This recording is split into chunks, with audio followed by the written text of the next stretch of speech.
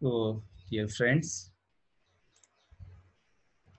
ये हमारा कल का टॉपिक था, जहाँ हमने थोड़ा इसके बारे में हिस्ट्री कब कॉटन फाइबर यूज़ हुआ कौन कौन सी कंट्रीज़ इसको प्रोड्यूस करती है। Here was the classification it is classified as a natural cellulosic monocellular staple fibre and one more important thing in this slide is the density of the fibre is 1.52 grams per cubic centimetre which makes cotton a rather heavy fiber. It is put in the category of heavy fiber because density is high. It is 1.52 so these two things are important in this slide. Then types Sea Island, Egyptian, Brazilian, American, India, China. Then cultivation, land preparation, planting season, planting, flowering, cultivation, development of cotton fiber in the uh, in the sheet in the sheet in two stages, two phases. Uh, first phase is lengthwise, second phase is uh, cross sectionally or thick, thickening. Yeah here as here is the convolutions. When cotton bolls are ripened they burst exposing a soft mass of white cotton fibers. At this stage the plant juices present in the lumen either go into the seed or evaporate due to sunlight due to this reason cavity created at the center of the fiber so fiber collapses in different directions at different places because of higher outer pressure than inside pressure as a result the fiber may get some turns or twist in one direction and at next place in reverse direction. These turns vary from 150 to 300 per inch and these are called convolutions. Now the next topic, today's topic is morphology of cotton. And morphology of any fiber, either it is cotton, wool or silk or flax or jute, whatever the fiber we are going to study, morphology means we are studying about the structure of the fibers and the structure of the fiber we have divided into two categories macrostructure and microstructure macro means big micro means small. So macro structure covers the those dimensions which are about the periphery of the fiber outer side of the fiber like length diameter length diameter ratio density color and luster. So these are these properties are covered in macrostructure of the cotton uh, macrostructure of any fiber and this macrostructure is one part of morphological structure so morphological structure is mainly divided into two parts one is macrostructure, another is microstructure. So first we are taking macro. In macrostructure, the first point is length.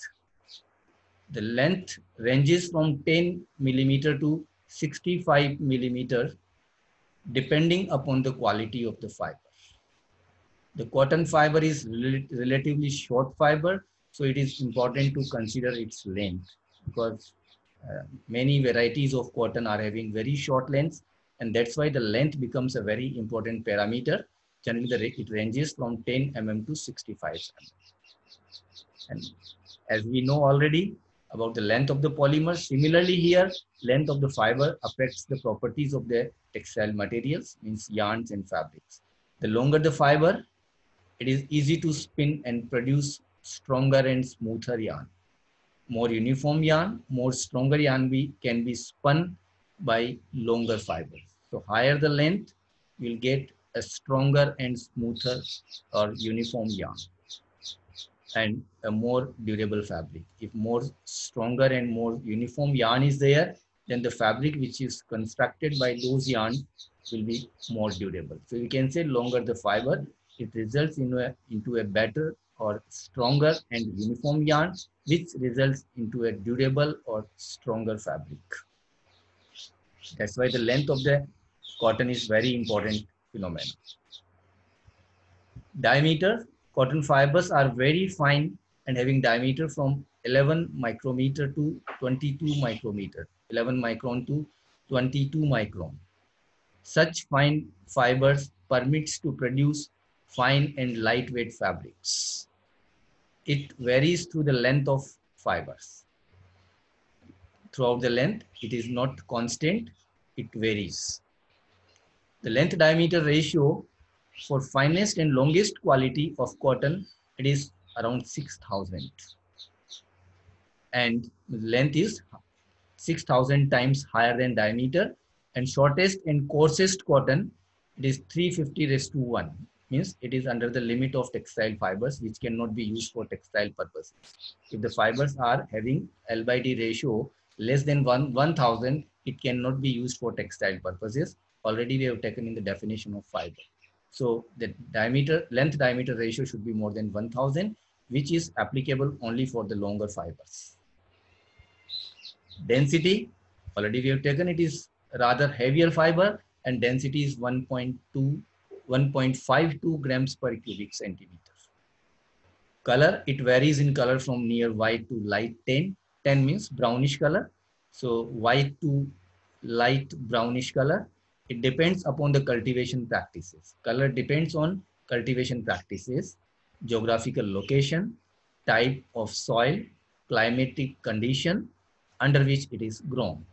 These factors influence the amount of protein and minerals present in the fiber.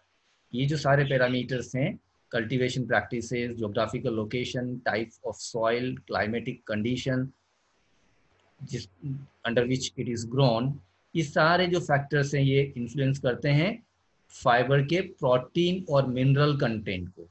We will study chemical composition of fibre in which proteins are also uh, constituent parts of uh, this or this chemical composition of cotton. क्योंकि cotton का जो composition है उसमें proteins और minerals भी होते हैं। किस तरह के प्रोटीन्स और मिनरल्स हैं वो हम जब केमिकल कंपोजिशन पढ़ेंगे तब हम उसको डिटेल में लेंगे। So protein and mineral part is affected by all this cultivation practices, geographical location, type of soil, climatic condition. And कितना पोर्शन प्रोटीन और मिनरल्स का अवेलेबल है it decides the colour luster Sea island and Egyptian cotton type have a subdued luster due to their greater fiber length, which causes more even reflection of incident light. जितना ज़्यादा length होगा Light का reflection ज़्यादा होगा और जितना ज़्यादा reflection होगा it will produce good lustre in the textile material तो this is all about the macro structure of cotton fibre micro structure means the internal structure micro means very सूक्ष्म जो बिल्कुल स्मॉलेस्ट लेवल पर जाके हम जो उसका स्ट्रक्चर देख रहे हैं that is micro structure the cotton is a single plant cell single cell single cellular fibre monocellular fibre it is a single plant cell it consist of four parts जो micro structure है cotton का, उसको हम चार part में divide कर सकते हैं, जो कि हमने पहले भी कवर किया था how the convolution are formed at that time हमने स्लाइटली इन टॉप इसको कवर किया था, जो क्योंकि अब आपको पूरा क्लियर होगा. It consist of four parts cuticle, the outermost boundary of the cotton fiber, that is cuticle. Just under the cuticle, whatever the layers of cellulose or other materials are there, that is primary wall. Under the primary wall, the main content of cotton, the cellulose, is found into the secondary wall. So secondary wall, and under the secondary wool, the hollow canal is there, that is lumen, so we can divide the whole, the microstructure of cotton into four parts, cuticle, primary wall, secondary wall, and lumen. हमने इसको लिया भी ऐसा ही है cuticle सबसे ऊपर है, उसके नीचे प्राइमरी वॉल है, उसके नीचे सेकेंडरी वॉल है, और उसके नीचे ल्यूमेन है। The main portion of cotton fibre consist of secondary wall now we will take details of all these four parts so this diagram is showing you all these four components, four parts of cotton fiber. This is cuticle, जो कि सबसे ऊपर दिखाया है तो cotton fibre को जो cover करके रख रहा है that is cuticle under the cuticle there is a primary cell wall which contains cellulose as well as proteins minerals and these layers of secondary cell wall, these spiraling layers, which is known as fibrils, which is found in primary wall and secondary wall. These are these fibrils are fine threads of cellulose. These fine threads of cellulose are known as fibrils, which is constituting mainly the secondary cell wall and uh, up to some level the primary cell wall. And here the innermost part is lumen. So now we will take details of these four different parts. Cuticle. The cuticle of the cotton fiber is a very thin layer tightly attached to the outside of the primary wall. जो primary wall की ऊपर की जो surface है outside wall जो है that is made up of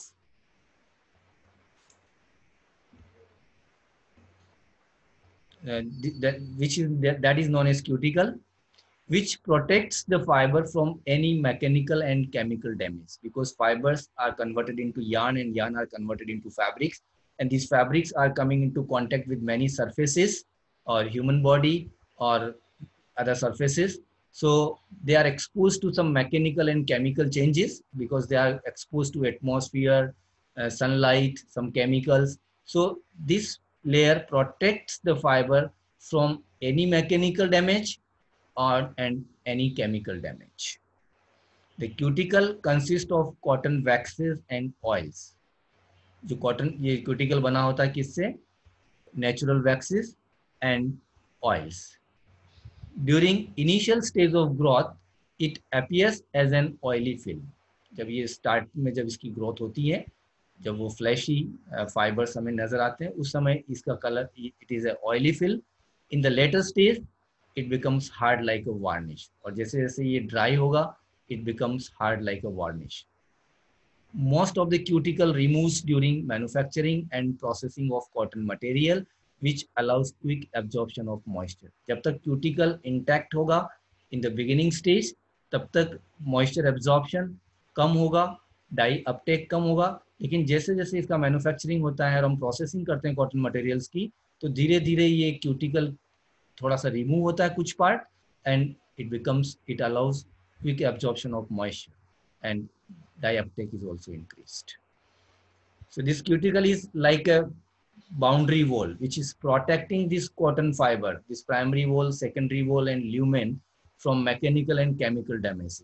So ek tarah se ye जैसे हमारी आर्मी है जो कि बॉर्डर्स पे होती है, और हमें प्रोटेक्ट करती है। Similarly cuticle is protecting the inner structure of the cotton fibre so this can be termed as protective layer cuticle के जस्ट नीचे जो होता है primary cell wall this is built up from cellulose main content जो इसका है, जो main chemical जो इसको बनाता है that is cellulose and also contains pectinaceous substances कुछ पैक्टीनियस सब्सटेंसेस होते हैं, जो कि which is taken as an impurities it is content in the primary cell wall this is immediately under underneath of cuticle cuticle के just नीचे होता है and is about point one two point two micron thick ये primary wall का thickness है।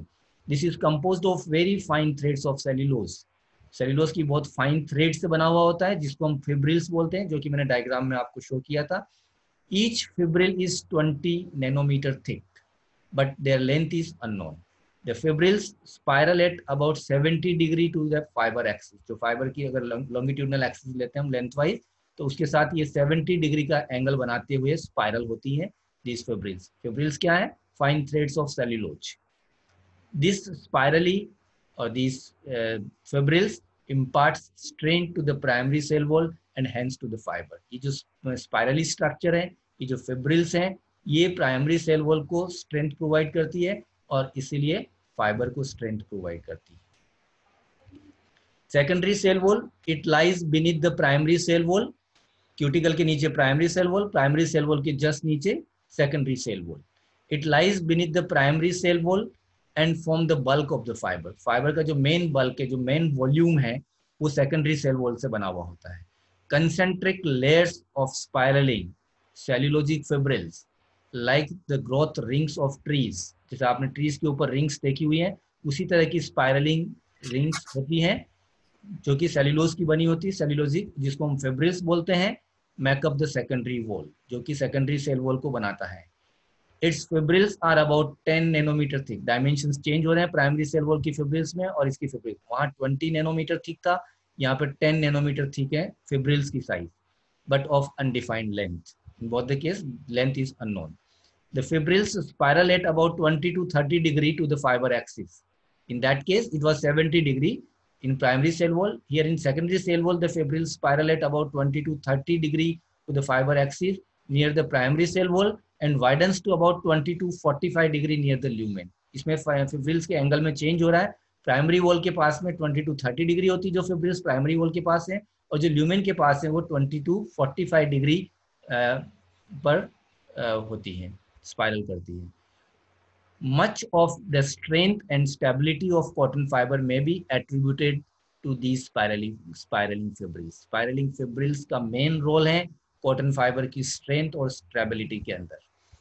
Whenever fibrils change the direction of their spirals जब भी fibrils अपने spiral की direction को change करता है a weak area exists in the secondary wall structure वहाँ पर एक weak area बनता है it is at these weak areas that the convolutions of the fiber also alter the direction of their twist और इन्हीं weak areas में जो convolutions जो form हो रहे हैं वो convolutions जो fiber के अंदर हैं वो अपने twist की direction को change करते हैं So this part is very important.